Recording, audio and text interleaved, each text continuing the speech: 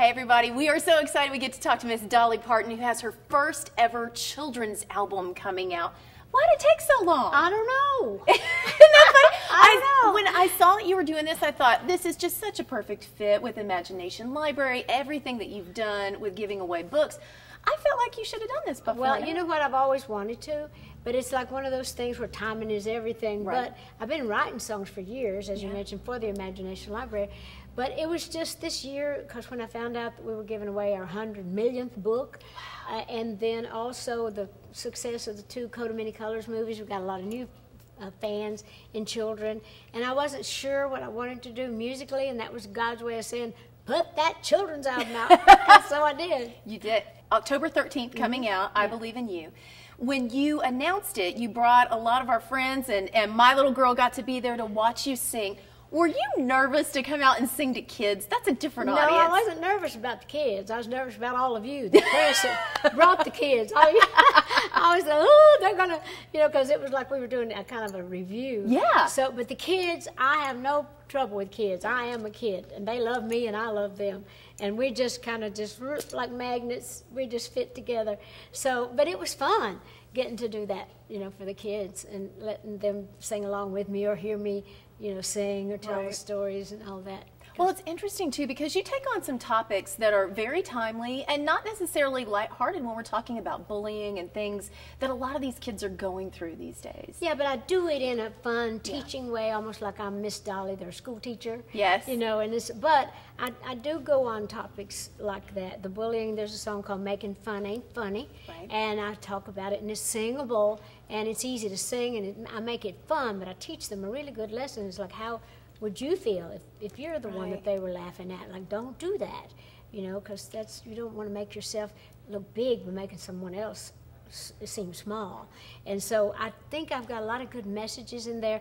And I really think this day and time, the world is so crazy and dark. I think it's very uplifting even for the parents. I think that the whole family might get a blessing out of it. Absolutely. Or some joy. Absolutely. I just can't keep up with you because you have so many things that are going on, and we love the movies that you've been doing with NBC. So, Thank you. what do we got? Do we have one coming up this year, or is it going to happen? No, they'll probably show uh, the the ones that we we did. Uh, I don't have it one in the movie. I don't have one in the works that Right. could come out this year. But we're working on some things for TV, so we, hopefully we'll have some more things on next year. Now I know you're working on a movie right now with Jennifer Aniston. Tell me Well, actually, Jennifer is producing and acting in a movie called Dumpling, and she's. Uh, they're just using my music because the story was from a New York Times bestseller list two or three years ago about this little heavy girl that her mom, who's Jennifer Aniston, was a beauty queen and won the contest many years ago, but now she's still puts these shows on for the you know for the little beauty queens, and her daughter wants to be in it, mm-hmm. but she's overweight, and so she, her her mother's always called her dumpling, just affectionately. But anyway, so the little girl in the, the story is that she loves my music and my sayings, and that I've been an inspiration to her. And I hadn't read the book, and then they sent it to me. So they're using tons of my songs from the old days in the movie, in the soundtrack, and I've written two or three new things for it. I'm not in the movie. Okay, but all the music that's going to be a part of it. Now, I have to ask you this because we're talking about kids and so many generations that have been influenced by you. Do you ever get a kick out of, or how does it feel when somebody says, number one, they've named their child Dolly, or in Jennifer Aniston's case, she named her dog Dolly? Oh, I know. That's true. she did. And the other day, somebody said, uh, one of the fans, somebody got mad at me uh, because at the award show when I didn't, you know, say something you know, about the political stuff. And one of the girls that was a big fan of mine, she called the office and said, "I can't believe you didn't say something, you know, uh, you know, to uphold everything." And she said, "I had a dog named Dolly and one named Parton." And I'm changing their names, and I'm never coming to Dollywood. But I think she had a, she had two dogs, one was named Dolly, one named Parton, and I got the biggest kick out of that.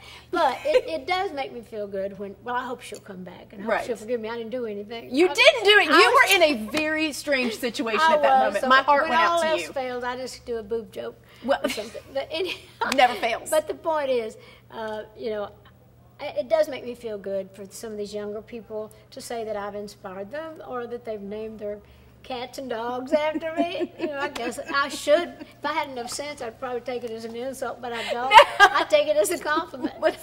you know, I love the fact that you were reunited. We had the little nine to five uh, reunion that happened there. It got a little weird, but I have to ask because those two are doing a show, Grace and Frankie. Mm-hmm. Would you ever do a cameo on there? Would you well, be we've been trying to do that ever since they started the show. Okay. And so we keep trying every year, but it- our schedule is always wrong when they're doing their show, Mm-hmm. and w- the time that it would be for time for me to do it because you have to spend like a week, ten days working Yeah. on it. I was doing something else, so we talked about it. I'm still going to try. I'm sure it'll be on a long time because it's a great show. It is funny. and It's so, uh, funny. but I, we haven't been able to schedule it yet. Okay, so I love to binge watch Netflix. Do you binge watch anything? What's your show? Well, I don't watch that much television. I prefer to read. But when I do watch, it's usually when I'm coming home after something else. And if I don't feel like reading, I watch CSI or those forensic. I mean, Oh, I go- really? I do because I find it so fascinating that they can just they can just solve a whole case with a hair or a. You know, or a drop of blood, or a leaf, or Right. you know, I just find that so fascinating. So I love watching that stuff. I love that you watch that. Okay, so perfect night in. What would you be eating? Like, what's your favorite dinner to, to have? Oh, I'm a junk food person by that time of night. Usually I've had supper, or if not, I'll eat something potatoes. I'll get a big old sack of potato chips, some dip or something, or some ice cream. Depends on what it is. But I'm always eating something. But I love, I eat good food, but I eat a lot of junk too. Me too. All Usually, right. especially TV, you got to have You have to. It has to just be mindless and you're eating Mm-hmm. it. If we were ordering a pizza together, what would we get on it? I would get the Supreme Oh, on thin yeah. crust I do like the thin with crust With extra better. pork sausage. This is why I love you so much. Put the extra pork right on her side. I want some pepperoni on my side. That's how we're going to order it out.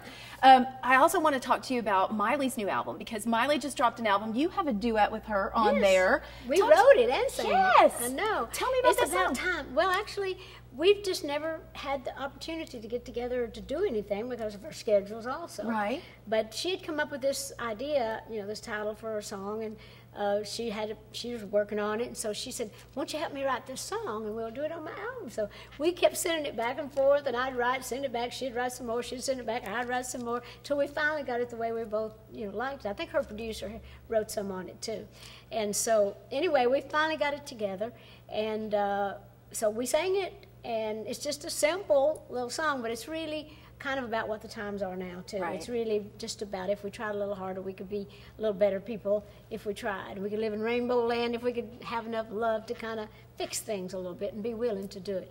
And it's just a good little singable melody, and I'm excited about it. It's it's simple. Yeah. And it sounds kind of like old old country to me. Kind of makes me think of me and Miley sound like Johnny and June. You know, somehow it reminds me of Johnny and June records. that. But I love the way it sounds. You know, looking at um, what she's doing now on The Voice, she's really coming on strong. I think She's so good. She that girl, really has her been. timing is so good. She's Right. so smart. Her comedic timing is great. She's very witty, very clever, Mm-hmm. and she's a great little hostess. I think she's. I just think Miley's great. I love her writing. I love her singing.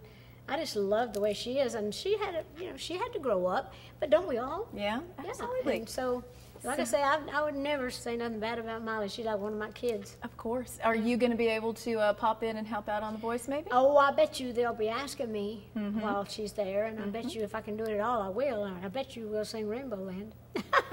I like those bets. I'm a betting person, so I'm going to bet on it all day long. If there's one thing that people need to know about this new children's album that you really want them to take to heart, what would that be? Well, I just want them to know that this is really good stuff for their kids. I'm trying to be a really good teacher, not that they're not. Sometimes through music, kids can learn a lot.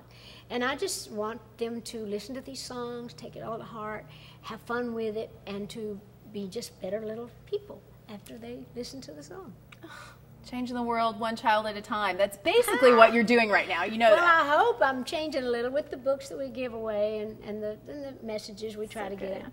And I love kids. I mean, it's fun to play with the kids. I hope this does so well that gives me a reason to do some more. Then I can put a tour together with some big old puppets on stage with all the lightings, create some new oh, characters, and just fill the auditoriums up with kids. Wouldn't that be fun? That would be so much I fun. think so, too. Now you are going to be taking the stage. Before I let you go, we got to talk about Kenny, his last show. You're going to be there as a part of that. Mm-hmm. That's going to be bittersweet, isn't it? Well, it is, but uh, Kenny's just going to be retiring from the public, not from me. I'll be able to go up to Kenny's house and sing anytime I want to, and he can come up to my house and sing anytime he wants to. So it's not as sad for me as it is for just the public. I do hate that he's you know Right. hanging it up because I love his singing, I do too. and he's done so well. But he's he's tired of it. He says he's ready to rest a little and enjoy his family. Everybody's got a right to do that. He's not a spry chicken anymore. You know, we're getting there. You know, we're up there. I love. I picture you, Kenny, a thin crust supreme pizza, binge watching CSI. I like, the fat, I like the fat bread too. It depends on my mood. I call it fat bread.